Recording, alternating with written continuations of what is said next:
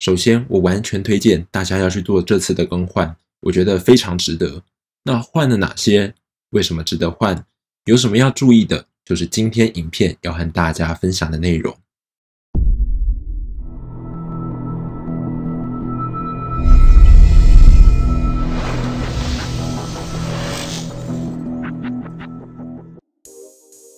可能你正在使用 MacBook、MacBook Pro、MacBook Air，详细如网页提到的这些型号，出现了以下问题：字母或字元意外重复，字母或字元未出现，按键感觉卡住或回应的方式不一致。那我自己的情况是，偶尔有按键会略微倾斜，左右边都有可能。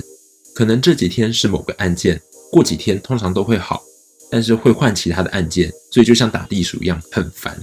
那少数有一些按键没有复原的，就会越来越严重，到最后就直接白卡。所以我忍无可忍就去换了。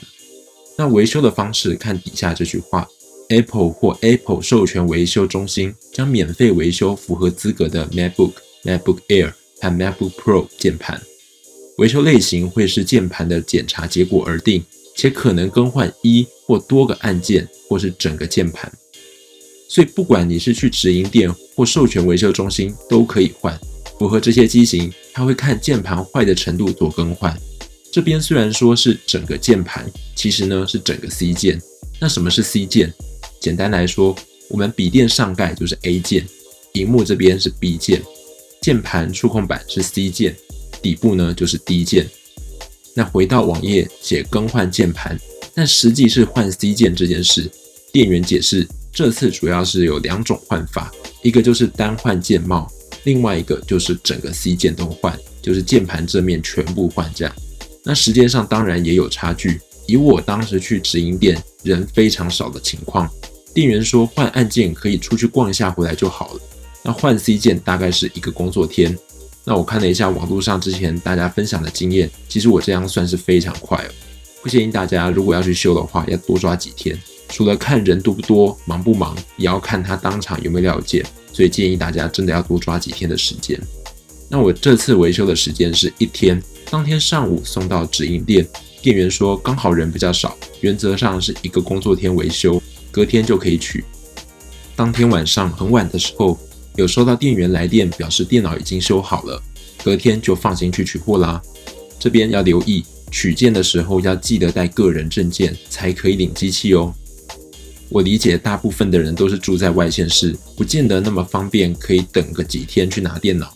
那的确要多考虑看看整个送修等待的时间成本。那换回来以后得到什么呢？除了外表看起来像得到了全新的键盘、全新的 C 键机壳，其实同时还换了触控板以及电池，根本是大放送。那先说大家比较想知道的新键盘到底有没有改善呢？有的，我觉得是有改善。第一。这几个礼拜使用下来，新键盘的确不像之前那么容易卡住异物，至少目前我还没有遇到。那第二，声音方面，我没有经过仪器测量证明，但我个人感觉明显比之前的噪音小很多。因为一天使用电脑的时间算多，键盘声音变小，我是觉得很有感的。后来查了一下国外网友测试的影片，换新的键盘的确有比较安静、小声。第三，换键盘之后，不知道是不是错觉，我觉得新键盘打起来有比较稳。这个稳是相较旧键盘完好的时候，比较不会倾斜一边。这方面我就不是很确定。哎，一方面是因为这个感受不像声音变小、噪音变小这么的明显，而且没有办法量化，也没有看到有人分享这个感觉。这个是我个人的感觉，大家可以参考看看。上面三点是跟键盘有关的部分。接下来来说说整个 C 键和触控板。第四，之前用 MacBook Pro，我会感觉两边的喇叭孔有一些毛边，摸起来比较粗糙，有颗粒感。那换过这次的 C 键以后，这种颗粒感的感觉就小很多，依旧可以摸到喇叭的孔洞，但是整个摸起来是非常平均的感觉。第五，触控板的间隙变更小。苹果的产品本身的装配通常就很不错。那之前有用过 MacBook Pro，也是顺顺的用，唯一的问题就是缝隙容易卡东西，但基本也是不影响使用。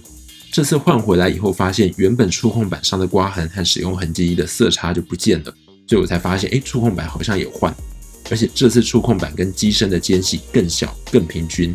目前偶尔还是会卡一些小东西，但发生的频率比之前少了非常非常多。而最让我惊讶的是，这个触控板与机身的高低控制也更加精准。头几天使用还有发生，因为手指没有发现边界就滑出去。因为这个装配真的是很厉害，让这个公差变得非常非常小，有时候手都摸不出来。第六，有拆过电池的人应该知道，MacBook Pro 的电池是用胶粘在 C 键上。实际上，我问店员，也的确是因为这个原因，这次换 C 键也直接换了新的电池，所以电脑的电源循环次数就会重新计算。那这真的是最划算的地方，就像打游戏的时候直接被灌到满血的感觉。